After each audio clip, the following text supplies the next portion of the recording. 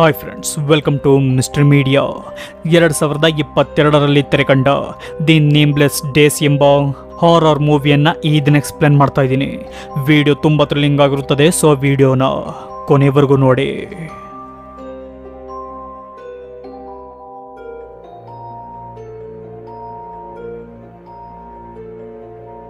ಮೂವಿಯ ಮೊದಲ ಸಿನ್ನಲ್ಲಿ ತಮ್ಮ ದೇಶದಿಂದ ಮತ್ತೊಂದು ದೇಶದ ಬಾರ್ಡರ್ ಅನ್ನು ಇಲ್ಲಿಗಲ್ ಆಗಿ ದಾಟುತ್ತಿರುವ ರೆಫ್ಯೂಜಿಸ್ಗಳನ್ನು ನೋಡ್ತೀವಿ. ಅವರಲ್ಲಿ ನಮಗೆ ಅಕ್ಕ ಮತ್ತು ಅವಳ ತಮ್ಮ ಪರಿಚಯವಾಗ್ತಾರೆ. ಅವರ ಹೆಸರು ರಾಹುಹಿ ಹಾಗೂ ಗೇಬ್ರಿಯಾಲ. ಈ ಗೇಬ್ರಿಯಾಲ ಪ್ರೆಗ್ನೆಂಟ್ ಆಗಿರ್ತಾಳೆ. ಹೇಗೆ ಅವರನ್ನು ಬಾರ್ಡರ್ ದಾಟಿಸುವುದಾಗಿ ಕರೆದುಕೊಂಡು ಬಂದ ವ್ಯಕ್ತಿ ಅಲ್ಲಿಯೇ ಇದ್ದ ಒಂದು ಟನಲ್ನ ಬಳಿ ಬರ್ತಾನೆ. ನಂತರ ಒಂದು ಹುಡುಗನನ್ನು ಅದರಲ್ಲಿ ಹೋಗಲು ಹೇಳಿ ಅಲ್ಲಿ ಯಾರಾದರೂ ಆರ್ಮಿ ಟೀಮ್ ಇದೆಯಾ ನೋಡು ಎಂದು ಕೇಳ್ತಾನೆ. ಆಗ ಆ ಹುಡುಗ ಆ ಟನಲ್ನ ಮೂಲಕ ಮೆಕ್ಸಿಕೋಯಿಂದ ಅಮೆರಿಕಾಗೆ ಹೋಗಿ. ಅಂದರೆ ಬಾರ್ಡರ್ ದಾಟಿ ಯಾರು ಇಲ್ಲವೆಂಬ ಸಿಗ್ನಲ್ ಕೊಡ್ತಾನೆ. ಆಗ ಒಬ್ಬ ಆ ಟನಲ್ನಲ್ಲಿ ಹೋಗಲು ನೋಡಿದಾಗ ಅವನ ಮೇಲೆ ಯಾರೋ ಅಟ್ಯಾಕ್ ಮಾಡ್ತಾರೆ. ಅದರಿಂದ ಘೋರವಾದ ಕಿರುಚಾಟಗಳು ಕೇಳುತ್ತವೆ. ಆಗ ಹೋಗಿದ್ದ ಆತ ಪುನಃ ಬಂದಾಗ ಅವನ ಹೊಟ್ಟೆಗೆ ಬಲವಾದ ಗಾಯವಾಗಿರುವುದು ನಮಗೆ ಕಾಣುತ್ತದೆ. ಹೀಗೆ ಆತ ಅಲ್ಲಿ ಸತ್ತ ಕೂಡಲೇ ಎಲ್ಲರೂ ಅಲ್ಲಿಂದ ಓಡಿ ಹೋಗ್ತಾರೆ. ಆಗ ನಮಗೆ ಅದೇ ಬಾರ್ಡರ್ನ ಬಳಿ ಇರುವ ಒಂದು ಮನೆಯಲ್ಲಿ ನಿಕೋಲ್ ಎಂಬ ಹುಡುಗಿ ತನ್ನ ತಂದೆಯಾದ ಸ್ಯಾಮ್ನ ಜೊತೆಯಲ್ಲೇ ವಾಸವಿರ್ತಾಳೆ. ಆಗ ನಮಗೆ ನಿಕೋಲ್ನ ಫ್ರೆಂಡ್ ಆದ ಕ್ಯಾಟ್ಲಿನ್ ಹಾಗೂ ಸ್ಯಾಮ್ನ ಫ್ರೆಂಡ್ ಆದ ವಿಕ್ಟರ್ ಎನ್ನುವವರು ಪರಿಚಯವಾಗ್ತಾರೆ. ಹೀಗೆ ನಿಕೋಲ್ ತಾವು ಸಾಕಿರುವ ದನ ಕರುಗಳ ಶೆಡ್ಗೆ ಬಂದಾಗ ಅವಳಿಗೆ ಒಂದು ಜಾಗದಲ್ಲಿ ರಕ್ತ ಕಾಣುತ್ತದೆ. ಆಗ ಗಾಬರಿಯಾದ ನಿಕೋಲ್ ಒಳಗೋದಾಗ ಅವಳಿಗೆ ಸತ್ತು ಹೋಗಿರುವ ತಾವು ಸಾಕಿದ್ದ ಕುರಿ ಕಾಣುತ್ತದೆ. ಅದರ ಬಳಿಯಿರುವ ಒಂದು ಹಳೆಯ ಪ್ರಾಚೀನ ಕಾಲದ ಗೊಂಬೆ ಕಂಡು ನಿಕೋಲ್ ತನ್ನ ತಂದೆಯನ್ನು ಕೂಗುತ್ತಾಳೆ. ಆಗ ಅಲ್ಲಿಗೆ ಬಂದ ಸ್ಯಾಮ್ ಹಾಗೂ ವಿಕ್ಟರ್ ಅದೇನೆಂದು ನೋಡುತ್ತಾರೆ ನೋಡಿದ ಅವರಿಗೆ ಆ ಗೊಂಬೆ ಯಾವುದು ಎಂದು ಗೊತ್ತಾಗುವುದಿಲ್ಲ. ನೆಕ್ಸ್ಟ್ ಸೀನ್ನಲ್ಲಿ ಬಾರ್ಡರ್ನ ಬಳಿ ಒಂದು ಸೇಫ್ ಜಾಗವನ್ನು ರಾಹುಹಿ ಹುಡುಕುತ್ತಿರಬೇಕಾದ್ರೆ ಗ್ಯಾಬ್ರಿಯಾಲಾಗೆ ಹೆರಿಗೆ ನೋವು ಶುರುವಾಗುತ್ತದೆ. ಅದೇ ಸಮಯಕ್ಕೆ ಅಲ್ಲಿಗೆ ಬಂದ ಆರ್ಮಿ ಟೀಮ್, ಇಲ್ಲಿಗಲ್ಲಾಗಿ ಬಾರ್ಡರ್ ಅನ್ನು ದಾಟಲು ಬಂದವರನ್ನು ಹುಡುಕುತ್ತಿರುತ್ತಾರೆ.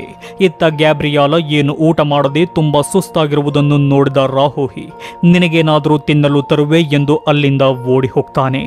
ಇತ್ತ ನಿಕೋಲ್ ಸ್ಟಡಿಗಾಗಿ ಹಾಗೂ ಕೆಲವು ಪರ್ಸನಲ್ ಕೆಲಸಗಳಿಗಾಗಿ ಕ್ಯಾಲಿಫೋರ್ನಿಯಾಗೆ ಹೋಗಲು ತಯಾರಾಗ್ತಾಳೆ.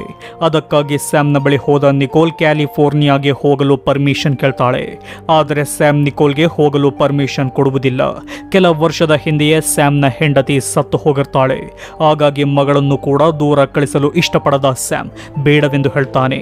ಇದರಿಂದ ನಿಕೋಲ್ಗೆ ತುಂಬಾ ಬೇಜಾರಾಗುತ್ತದೆ. ಸ್ವಲ್ಪ ಸಮಯದ ನಂತರ ಸ್ಯಾಮ್ ವಿಕ್ಟರ್ ಜೊತೆ ಹೊರಗೆ ಹೋಗ್ತಾನೆ. ಮನೆಯಲ್ಲಿ ಒಬ್ಬಳೇ ಇದ್ದ ನಿಕೋಲ್ ಸ್ನಾನ ಮಾಡಬೇಕಾದ್ರೆ ಅವಳಿಗೆ ಮನೆಯಲ್ಲಿ ಯಾರು ಇದ್ದಾರೆ ಎಂಬ ಅನುಮಾನ ಬರುತ್ತದೆ. ಯಾರು ಎಂದು ನೋಡಿದರೆ ಅದು ಅವರು ಸಾಕಿದ್ದ ನಾಯಿಯಾಗಿರುತ್ತದೆ.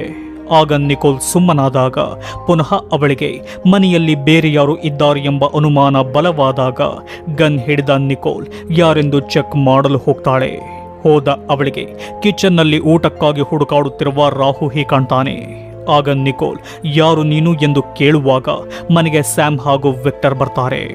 ಬಂದ ಕೂಡಲೇ ರಾಹುಹಿ ಅಲ್ಲಿಂದ ಓಡಿ ಹೋಗ್ತಾನೆ ಆಗ ಗನ್ ಹಿಡಿದು ನಿಂತಿದ್ದ ನಿಕೋಲ್ನನ್ನು ನೋಡಿದ ಅವರಿಬ್ಬರು, ಏನಾಯಿತೆಂದಾಗ? ಮನೆಗೆ ಯಾರೋ ಬಂದಿದ್ದ ವಿಷಯವನ್ನು ಅವರಿಗೆ ಹೇಳ್ತಾಳೆ. ಆಗ ಅವರಿಬ್ಬರು ಬಂದದ್ದು ಯಾರಿರಬಹುದೆಂದು ಹುಡುಕಾಡ್ತಾರೆ. ಆಗ ಅವರಿಗೆ ಮನೆಯ ಬೌಂಡರಿ ಗ್ರಿಲ್ ಅನ್ನು ಯಾರೋ ಕಿತ್ತು ಹಾಕಿ ಒಳಗೆ ಬಂದಿರುವ ಸುಳಿವು ಸಿಗುತ್ತದೆ. ಆಗ ಅವರು ಆತನನ್ನು ಹುಡುಕಿಕೊಂಡು ಮುಂದೆ ಹೋದಾಗ ಅವರಿಗೆ ದೂರದಲ್ಲಿ ಒಬ್ಬ ಆರ್ಮಿ ವ್ಯಕ್ತಿಯ ಶವ ಕಾಣುತ್ತದೆ. ಆತನನ್ನು ಕೂಡ ಮೂವಿಯ ಮೊದಲಲ್ಲಿ ನೋಡಿದ ವ್ಯಕ್ತಿಯ ರೀತಿ ಹೊಟ್ಟೆಯನ್ನು ಗಾಯಗೊಳಿಸಿ ಸಾಯಿಸಿರುತ್ತಾರೆ. ಆಗ ಅವರಂದುಕೊಳ್ತಾರೆ, ಮನೆಗೆ ಬಂದಿದ್ದ ವ್ಯಕ್ತಿಯೇ ಈ ಕೊಲೆಯನ್ನು ಮಾಡಿರಬಹುದು ಎಂದು. ಆಗ ಅವರು ಈ ವಿಷಯವನ್ನು ಪೊಲೀಸರಿಗೆ ಇನ್ಫಾರ್ಮ್ ಮಾಡ್ತಾರೆ. ಆಗ ಅವರ ಮನೆಯ ಬಳಿಗೆ ಬಂದ ಪೊಲೀಸರು ಏನಾಯಿತೆಂದಾಗ ಅವರೆಲ್ಲ ನಡೆದ ವಿಷಯವನ್ನು ಪೊಲೀಸರಿಗೆ ವಿವರವಾಗಿ ಹೇಳ್ತಾರೆ. ಆಗ ಪೊಲೀಸರು ಡೋರ್ ವಿಂಡೋಗಳನ್ನು ಭದ್ರವಾಗಿ ಹಾಕಿಕೊಂಡು ಸೇಫ್ ಆಗಿರುವಂತೆ ಸಜೆಷನ್ ಕೊಡ್ತಾರೆ. ಆಗ ಕೂಡಲೇ ಸಿಟಿಯ ಕಡೆ ಹೋದ ಸ್ಯಾಮ್ ಸಿಸಿ ಕ್ಯಾಮ್ರಾಗಳನ್ನು ತೆಗೆದುಕೊಂಡು ಬರಲು ಹೋಗ್ತಾನೆ. ಹೋಗುವುದಕ್ಕಿಂತ ಮುಂಚೆ ಮನೆ ಬಿಟ್ಟು ಎಲ್ಲಿಯೂ ಹೋಗಬೇಡ ಎಂದು ಹೇಳಿ ಹೊರಡುತ್ತಾನೆ. ನಂತರ ಮನೆಗೆ ಕ್ಯಾಟ್ಲಿನ್ ಬರ್ತಾಳೆ. ಅವಳ ಜೊತೆ ಮಾತನಾಡುತ್ತ ನಿಕೋಲ್ ನಿನ್ನೆಯಾದ ಘಟನೆಯ ಬಗ್ಗೆ ಅವಳಿಗೆ ಹೇಳ್ತಾಳೆ. ಹೀಗೆ ಅವರು ಮಾತನಾಡುವಾಗ ಅವರು ಸಾಕಿದ್ದ ನಾಯಿ. ಹೊರಗೆ ಹೋಗಲು ತುಂಬಾ ಪ್ರಯತ್ನ ಪಡುತ್ತಿರುವುದನ್ನು ಗಮನಿಸಿದ ನಿಕೋಲ್ ಅದನ್ನು ಬಿಟ್ಟು ನಂತರ ಅದನ್ನೇ ಹಿಂಬಾಲಿಸುತ್ತಾರೆ. ಆಗ ಅವರಿಗೆ ನಾಯಿಯ ಸಹಾಯದಿಂದ ಒಂದು ಕಡೆ ಹೆದರಿ ಅಡಗಿಕೊಂಡಿದ್ದ. ರಾಹುಹಿ ಕಾಣ್ತಾನೆ. ಅವನ ಹೊಟ್ಟೆಯಲ್ಲಿ ಗಾಯವಾಗಿದ್ದು ರಕ್ತ ಬರುತ್ತಿರುತ್ತದೆ. ಅವನನ್ನು ನೋಡಿ ಹೆದರಿದ ಕ್ಯಾಟ್ಲಿನ್ ಅಲ್ಲಿಂದ ಹೋಗಲು ನೋಡಿದಾಗ, ಈ ವಿಷಯವನ್ನು ಯಾರಿಗೂ ಹೇಳಬೇಡ ಎಂದು ನಿಕೋಲ್ ಅವಳಿಗೆ ಹೇಳಿ ಕಳಿಸುತ್ತಾಳೆ. ನಂತರ ಅವನನ್ನು ಮನೆಗೆ ಕರೆದುಕೊಂಡು ಬಂದ ನಿಕೋಲ್ ರಕ್ತ ಬರುತ್ತಿದ್ದ ಜಾಗಕ್ಕೆ ಬ್ಯಾಂಡೇಜ್ ಹಾಕಿದಾಗ ರಾಹುಹಿ ಅವಳ ಜೊತೆ ಮಾತನಾಡ್ತಾನೆ. ಪ್ರೆಗ್ನೆಂಟ್ ಆಗಿರುವ ತನ್ನ ಅಕ್ಕ ಒಂದು ಜಾಗದಲ್ಲಿದ್ದಾಳೆ. ನಾನು ಅವಳನ್ನು ನೋಡಲು ಹೋಗಬೇಕು ಎಂದಾಗ, ಅದಕ್ಕೆ ಸರಿ ನಿಕೋಲ್, ನಿನಗೆ ಈ ಗಾಯವಾಗಲು ಯಾರು ಕಾರಣ ಎಂದು ಕೇಳ್ತಾಳೆ. ಆಗ ರಾಹುಹಿ, ನಾನು ಹೇಳಿದರೂ ನೀವು ನಂಬುವುದಿಲ್ಲ. ಹಾಗಾಗಿ ನಾನು ಹೇಳುವುದಿಲ್ಲವೆಂದು ಹೇಳ್ತಾನೆ. ಆಗ ನಿಕೋಲ್, ನಂಬುವೆ, ಹೇಳು ಎಂದು ಒತ್ತಾಯ ಮಾಡಿದಾಗ ರಾಹುಹಿ ಹೇಳ್ತಾನೆ. ನನಗೆ ಈ ರೀತಿ ಮಾಡಿದ್ದು ಒಂದು ಪ್ರೇತಾತ್ಮದ ರೂಪದಲ್ಲಿರುವ ವೆಡ್ಜ್. ನಮ್ಮ ಮೆಕ್ಸಿಕೋದಲ್ಲಿ ಒಂದು ದಂತ ಕಥೆ ಇದೆ ಆ ಕಥೆಯಲ್ಲಿ ಈ ವಿಡ್ಜ್ ಅನ್ನು ಮೆನ್ಷನ್ ಮಾಡಿದ್ದಾರೆ. ಅದೇನೆಂದರೆ, ನೂರಾರು ವರ್ಷಗಳ ಹಿಂದೆ ಇದ್ದ ವೆಡ್ಜ್ ತನ್ನ ಮಗುವಿಗೆ ಜನ್ಮ ಕೊಡುವಾಗ ಸತ್ತು ಹೋದಳು. ಆಗಿನಿಂದ ಆ ವೆಡ್ಜ್ ಭಯಾನಕವಾದ ಪ್ರೇತಾತ್ಮದ ರೂಪ ತಾಳಿ ಎಷ್ಟೋ ವರ್ಷಕ್ಕೊಮ್ಮೆ ಐದು ದಿನಗಳ ಕಾಲ ಭೂಮಿಗೆ ಬರುತ್ತದೆ. ಬಂದ ಆ ಐದು ದಿನದಲ್ಲಿ ಕಂಡ ಮಗುವನ್ನೆಲ್ಲ ಇದು ನನ್ನದೇ ಮಗುವೆಂದು ಭಾವಿಸಿ ಅದನ್ನು ತೆಗೆದುಕೊಂಡು ಹೋಗಲು ನೋಡುತ್ತದೆ. ಆ ಮಗುವನ್ನು ಪ್ರೊಟೆಕ್ಟ್ ಮಾಡಲು ಬಂದವರನ್ನು ಸಾಯಿಸಿ ಮಗುವಿಗಾಗಿ ಎಂತಹ ಕೆಲಸ ಬೇಕಾದರೂ ಮಾಡುತ್ತದೆ ಎಂದಾಗ ನಿಕೋಲ್ ಸಿಕ್ಕ ಆ ಗೊಂಬೆಯನ್ನು ತೋರಿಸುತ್ತಾಳೆ. ಆಗ ರಾಹುಹಿ ಈ ಪ್ರಾಚೀನ ಕಾಲದ ಗೊಂಬೆ ಆ ವಿಡ್ಜ್ಗೆ ಸೇರಿದ್ದು. ಅದು ಎಲ್ಲಿ ಸಿಕ್ಕಿದೆ ಎಂದರೆ, ಈ ಊರಿನ ಸುತ್ತಮುತ್ತವೇ ಅದು ಜನರನ್ನು ಕೊಲ್ಲುತ್ತಾ ತನ್ನ ಮಗುವಿನ ಹುಡುಕಾಟದಲ್ಲಿರುತ್ತದೆ. ಆದಷ್ಟು ಬೇಗ ನಾನು ನನ್ನ ಅಕ್ಕನ ಬಳಿ ಹೋಗಬೇಕು. ಎಲ್ಲರಿಗಿಂತ ಅಪಾಯದಲ್ಲಿರುವವಳು ಅವಳೇ. ಏಕೆಂದರೆ ಅವಳು ಪ್ರೆಗ್ನೆಂಟ್ ಈಗ ವಿಟ್ಸ್ನ ಟಾರ್ಗೆಟ್ ನನ್ನ ಅಕ್ಕನೇ ಆಗಿರುತ್ತಾಳೆ ಎಂದು ಹೇಳ್ತಾನೆ. ಹೇಳುತ್ತಿದ್ದಂತೆ ಅಲ್ಲಿಗೆ ಸ್ಯಾಮ್ ಬರ್ತಾನೆ. ಆಗ ನಿಕೋಲ್ ಅವನನ್ನು ಅಲ್ಲಿಯೇ ಮರೆ ಮಾಡಿ ತನ್ನ ತಂದೆಯ ಬಳಿ ಹೋದಾಗ ಅವರ ನಾಯಿ ಅವನಿದ್ದ ರೂಮ್ನ ಬಳಿ ಬೊಗಳುತ್ತಿರುತ್ತದೆ. ಆಗ ಸ್ಯಾಮ್ಗೆ ಈ ರೂಮ್ನಲ್ಲಿ ಯಾರು ಇದ್ದಾರೆ ಎಂದು ಅನುಮಾನ ಬಂದು ಹೋಗಿ ನೋಡುತ್ತಾನೆ. ನೋಡಿದರೆ ಅಲ್ಲಿ ಯಾರು ಇರುವುದಿಲ್ಲ. ಆಗ ರೂಮ್ನ ವಿಂಡೋ ಓಪನ್ ಇರುವುದನ್ನು ನೋಡಿದ ಸ್ಯಾಮ್ ಅದನ್ನು ಕ್ಲೋಸ್ ಮಾಡಿ ಹೊರಡುತ್ತಾನೆ. ಆಗ ನಿಕೋಲ್, ರಾಹುಹಿ ಎಲ್ಲಿಗೆ ಹೋದ ಎಂದು ಯೋಚನೆ ಮಾಡ್ತಾಳೆ. ಇತ್ತ ಗ್ಯಾಬ್ರಿಯಾಲಾಗೆ ಹೆರಿಗೆ ನೋವು ತುಂಬಾ ಅತಿಯಾಗುತ್ತದೆ. ಇತ್ತ ಸ್ಯಾಮ್ ಡ್ರಿಂಕ್ಸ್ ಕುಡಿದು ಮಲಗಿಕೊಳ್ತಾನೆ. ಆಗ ಮನೆಯಿಂದ ಹೊರಬಂದ ನಿಕೋಲ್ ರಾಹುಹಿಯನ್ನು ಹುಡುಕಾಡುವಾಗ ಒಂದು ಜಾಗದಲ್ಲಿ ಆತ ಸಿಗುತ್ತಾನೆ.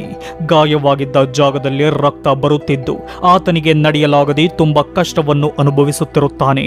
ಆಗ ನಿಕೋಲ್ ಅವನನ್ನು ವಿಕ್ಟರ್ನ ಮನೆಗೆ ಕರೆದುಕೊಂಡು ಹೋಗ್ತಾಳೆ. ಆಗ ವಿಕ್ಟರ್ ಅವನ ಹೊಟ್ಟೆಗೆ ಬ್ಯಾಂಡೇಜ್ನ ಪಟ್ಟಿ ಕಟ್ಟಿದಾಗ ರಾಹುಹಿ ಹಾಗೂ ನಿಕೋಲ್ ನಡೆದ ಘಟನೆಗಳನ್ನೆಲ್ಲ ವಿವರವಾಗಿ ಹೇಳ್ತಾರೆ.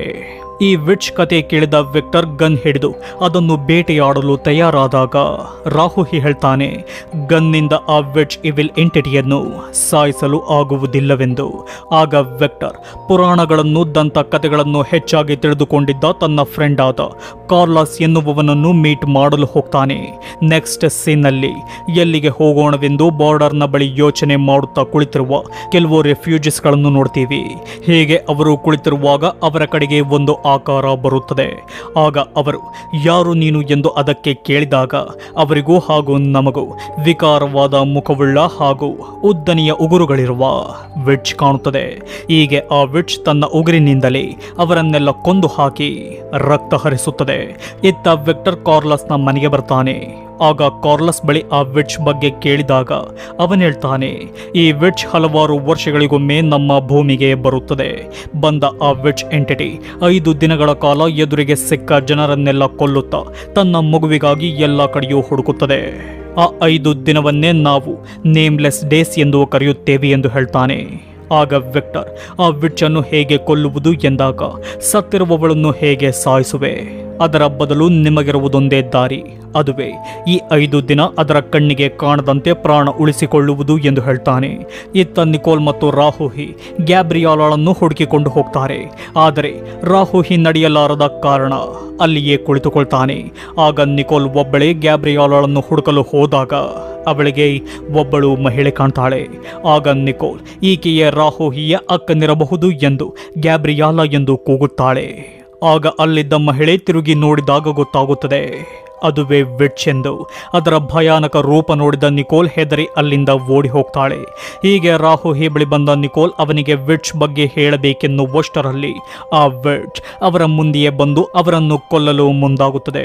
ಹೀಗೆ ಅದರಿಂದ ಪಾರಾಗುವಾಗ ನಿಕೋಲ್ಗೆ ಯಾರೋ ಟಾರ್ಚನ್ನು ಆನ್ ಅಂಡ್ ಆಫ್ ಮಾಡುತ್ತಿರುವುದು ಕಂಡು ಯಾರೆಂದು ನೋಡಲು ಹೋಗ್ತಾಳೆ. ಹೋಗಿ ನೋಡಿದರೆ ಅದು ಗ್ಯಾಬ್ರಿಯಲ್ ಆಗಿರ್ತಾಳೆ. ಆಕೆ ಒಂದು ಮಗುವಿಗೆ ಜನ್ಮ ಕೊಟ್ಟಿರ್ತಾಳೆ. ಹೀಗೆ ವಿಚ್ ಆ ಮಗುವಿನ ಅಳು ಕೇಳಿ ಅವಳ ಬಳಿ ಬರಲು ಶುರು ಮಾಡುತ್ತದೆ. ಆಗ ನಿಕೋಲ್ ವಿಚ್ನಿಂದ ಈ ಮಗುವಿನ ಪ್ರಾಣವನ್ನು ಕಾಪಾಡಲೇಬೇಕೆಂದು ಅದರ ಗಮನ ತನ್ನ ಮೇಲೆ ಬರುವ ಹಾಗೆ ಮಾಡ್ತಾಳೆ. ಆಗ ವೆಡ್ಜ್ ನಿಕೋಲ್ನನ್ನು ಕೊಲ್ಲಲು ಹೋಗುವಾಗ ನಿಕೋಲ್ ಓಡುತ್ತಾ ಒಂದು ಬಾವಿಯ ಮೇಲೆ ಬೀಳ್ತಾಳೆ. ಅದರ ಮೇಲೆ ಮರದ ಅಲಿಗೆಗಳಿದ್ದ ಕಾರಣ ನಿಕೋಲ್ಗೇನು ಆಗುವುದಿಲ್ಲ. ಅದೇ ಸಮಯಕ್ಕೆ ಅಲ್ಲಿಗೆ ವೆಡ್ಜ್ ಬರ್ತಾಳೆ. ಬಂದ ಆ ವೆಡ್ಜ್ ನಿಕೋಲ್ನನ್ನು ಕೊಲ್ಲಬೇಕೆನ್ನುವಾಗ ಅಲ್ಲಿಗೆ ಮಗುವನ್ನು ಹಿಡಿದು ಗ್ಯಾಬ್ರಿಯಾಲ ಬರ್ತಾಳೆ. ಮಗುವನ್ನು ನೋಡುತ್ತಾ ವಿಡ್ಚ್ ನಿಂತಿರಬೇಕಾದ್ರೆ ನಿಕೋಲ್ ಓಡಿ ಹೋಗಿ ಆ ವಿಡ್ಚ್ ಅನ್ನು ಬಾವಿಯ ಒಳಗೆ ತಳ್ಳಿಬಿಡ್ತಾಳೆ. ಕೂಡಲೇ ಅವರನ್ನು ಆ ಜಾಗದಿಂದ ಕರೆದುಕೊಂಡು ಹೋದ ನಿಕೋಲ್ ತನ್ನ ಮನೆಗೆ ಅವರನ್ನು ಕರೆದುಕೊಂಡು ಬರ್ತಾಳೆ. ನಂತರ ಸ್ಯಾಮ್ಗೆ ಅವರು ನಡೆದ ಘಟನೆ ಹೇಳಿದಾಗ ಸ್ಯಾಮ್ ಅವರ ಮಾತನ್ನು ನಂಬುವುದಿಲ್ಲ. ಆಗ ಅವನ ಜೊತೆ ಮಾತನಾಡಿದ ನಿಕೋಲ್ ವಿಚ್ ಇರುವುದು ಸತ್ಯ. ಆ ಆರ್ಮಿ ಆಫೀಸರ್ನನ್ನು ಕೊಂದದ್ದು ಕೂಡ ಆ ವಿಚ್ಚೆ ಎಂದು ಹೇಳಿ ಅವನಿಗೆ ನಂಬಿಕೆ ಬರೆಸುವಂತಹ ಮಾತುಗಳನ್ನು ಹೇಳ್ತಾಳೆ. ಆಗ ಸ್ಯಾಮ್ ಕೂಡ ನಿಕೋಲ್ನ ಮಾತನ್ನು ನಂಬುತ್ತಾನೆ. ಇತ್ತ ವಿಕ್ಟರ್ ಸ್ಯಾಮ್ನ ಮನೆಗೆ ಬರುತ್ತಿರುತ್ತಾನೆ. ನನ್ನಿಂದ ಅವರಿಗೆ ಏನಾದರೂ ಸಹಾಯ ಮಾಡಲೇಬೇಕೆಂದು ಬರುತ್ತಿದ್ದ ಅವನ ಕಾರ್ನ ಎದುರಿಗೆ ಯಾರೋ ಬರುತ್ತಾರೆ. ಆಗ ಕಾರನ್ನು ನಿಲ್ಲಿಸಿದ ವಿಕ್ಟರ್ ಯಾರೆಂದು ನೋಡಿದಾಗ ಅದು ವಿಚ್ ಆಗಿರ್ತಾಳೆ ಆಗ ಆ ವಿಚ್ ವಿಕ್ಟರ್ನನ್ನು ಕೂಡ ಕೊಂದು ಹಾಕ್ತಾಳೆ. ಎತ್ತ ಸ್ಯಾಮ್ ನಿಕೋಲ್ಗೆ ಹೇಳ್ತಾನೆ ನಿಕೋಲ್, ನೀನಿಲ್ಲಿರುವುದು ಸೇಫ್ ಅಲ್ಲ ನಿನ್ನಿಷ್ಟದ ಹಾಗೆ ಯೂನಿವರ್ಸಿಟಿಗೆ ಜಾಯ್ನ್ ಆಗಲು ಕ್ಯಾಲಿಫೋರ್ನಿಯಾಗೆ ಹೋಗು ಎಂದು ಹೇಳ್ತಾನೆ. ಆ ಮಾತನ್ನು ಕೇಳಿದ ನಿಕೋಲ್ಗೆ ತುಂಬ ಸಂತೋಷವಾಗುತ್ತದೆ. ಕೆಲ ಸಮಯದ ನಂತರ ಅಲ್ಲಿಗೆ ಕ್ಯಾಟ್ಲಿನ್ ಬರ್ತಾಳೆ. ಬಂದ ಕ್ಯಾಟ್ಲಿನ್, ನಿನ್ನ ಜೊತೆ ನಾನು ಕೂಡ ಸ್ಟಡಿಗಾಗಿ ಕ್ಯಾಲಿಫೋರ್ನಿಯಾಗೆ ಬರಬಹುದಾ ಎಂದಾಗ, ನಿಕೋಲ್ ಸರಿ ಎಂದು ಹೇಳ್ತಾಳೆ. ಅದರಿಂದ ಕ್ಯಾಟ್ಲಿನ್ಗೂ ತುಂಬ ಖುಷಿಯಾಗಿ ಅಲ್ಲಿಂದ ಹೊರಡುತ್ತಾಳೆ. ಹೋದ ಕೆಲ ಸಮಯದಲ್ಲಿ ಸಿ ಸಿ ಕ್ಯಾಟ್ಲಿನ್ನ ಶವ ಕಾಣುತ್ತದೆ. ಅದನ್ನು ನೋಡಿದ ನಿಕೋಲ್ ಅತಿಯಾಗಿ ಅಳಲು ಶುರು ಮಾಡ್ತಾಳೆ. ಆಗ ಅವಳಿಗೆ ಸಮಾಧಾನ ಮಾಡಿದ ಸ್ಯಾಮ್, ಅವರನ್ನೆಲ್ಲ ಒಂದು ಸ್ಟೋರ್ ರೂಮ್ಗೆ ಕಳಿಸಿ. ಯಾವುದೇ ಕಾರಣಕ್ಕೂ ಇಲ್ಲಿಂದ ಹೊರಬರಬೇಡಿ ಎಂದು ಹೇಳ್ತಾನೆ. ನಂತರ ಅದನ್ನು ಕೊಲ್ಲಲು ಗನ್ ಹಿಡಿದು ಸಿದ್ಧನಾಗ್ತಾನೆ. ಆದರೆ ಅವನಿಗೆ ಗೊತ್ತಿರುವುದಿಲ್ಲ. ಆ ವೆಚ್ಚ ಸಾಯದ ಇವಿಲ್ ಎಂಟಿಟಿ ಎಂದು. ಅದರ ಬಳಿ ಹೋಗಬೇಡಿ ಎಂದು ನಿಕೋಲ್ ತನ್ನ ತಂದೆಯನ್ನು ಹುಡುಕಿಕೊಂಡು ಹೋದರೆ, ಗ್ಯಾಬ್ರಿಯಾಲ ಹಾಗೂ ರಾಹು ಹೀಗೆ. ಅದೇ ರೂಮ್ನಲ್ಲಿ ಒಂದು ಸೀಕ್ರೆಟ್ ಡೋರ್ ಕಂಡು, ಅದರ ಮೂಲಕ ಮನೆಯ ಬೇಸ್ಮೆಂಟ್ಗೆ ಬರ್ತಾರೆ. ಇತ್ತ ವೆಡ್ಜ್ ಸ್ಯಾಮ್ನ ಮೇಲೂ ದಾಳಿ ಮಾಡಿ ಅವನನ್ನು ಗಾಯಗೊಳಿಸುತ್ತದೆ. ಹೀಗೆ ಅವರು ಆ ಜಾಗದಲ್ಲಿ ಹೋಗುವಾಗ ಮಗುವಿಗಾಗಿ ಆ ವೆಡ್ಜ್ ಅಲ್ಲಿಗೂ ಬರುತ್ತದೆ. ಆಗ ಕೂಡಲೇ ಅದರಿಂದ ಹೊರಬಂದ ಅವರ ಮೇಲೆ ಆ ವೆಡ್ಜ್ ದಾಳಿ ಮಾಡಲು ಬಂದಾಗ ನಿಕೋಲ್ ಅಲ್ಲಿಗೆ ಟ್ರಕ್ ತೆಗೆದುಕೊಂಡು ಬರ್ತಾಳೆ. ಹೀಗೆ ಅವರು ಟ್ರಕ್ನಲ್ಲಿ ಸ್ವಲ್ಪ ದೂರ ಹೋದ ಕೂಡಲೇ ಆ ಟ್ರಕ್ ಕೆಟ್ಟು ನಿಲ್ಲುತ್ತದೆ. ಆಗ ಅವರು ಟ್ರಕ್ ಅನ್ನು ಚೆಕ್ ಮಾಡಲು ಇಳಿದಾಗ ಅಲ್ಲಿಯೇ ಮಲಗಿಸಿದ್ದ ಮಗುವಿನ ಬಳಿ ವಿಡ್ಜ್ ಬಂದು ಮಗುವನ್ನು ಎತ್ತಿಕೊಂಡು ಹೊರಟು ಹೋಗುತ್ತದೆ. ಆಗ ಅಲ್ಲಿಗೆ ಬಂದ ಗ್ಯಾಬ್ರಿಯಾಲ ಮಗು ಇಲ್ಲದಿರುವುದನ್ನು ಕಂಡು ಅತಿಯಾಗಿ ಅಳುತ್ತಾಳೆ. ಆಗ ಅವಳಿಗೆ ಮಗುವನ್ನು ಎತ್ತಿಕೊಂಡು ಹೋಗುತ್ತಿರುವ ವಿಡ್ಜ್ ಕಂಡು ಅದನ್ನು ಹಿಂಬಾಲಿಸುತ್ತಾಳೆ. ಹೀಗೆ ಆ ವಿಚ್ ಅನ್ನು ತಡೆದ ಗ್ಯಾಬ್ರಿಯಾಲ ತನ್ನ ಮಗುವನ್ನು ಅದರಿಂದ ಕಿತ್ತುಕೊಳ್ಳಲು ನೋಡಿದಾಗ ವಿಡ್ಜ್ ತನ್ನ ಉಗುರಿನಿಂದ ಗ್ಯಾಬ್ರಿಯಾಲಾಳ ಹೊಟ್ಟೆಯನ್ನು ಬಗೆದು ಕೊಂದು ಹಾಕುತ್ತದೆ. ಈ ಸಮಯದಲ್ಲಿ ಅಲ್ಲಿಗೆ ಬಂದ ನಿಕೋಲ್ ಆ ಮಗುವನ್ನು ಎತ್ತಿಕೊಂಡಾಗ ವಿಚ್ ಅವಳ ಬಳಿಯೂ ಬರುತ್ತದೆ.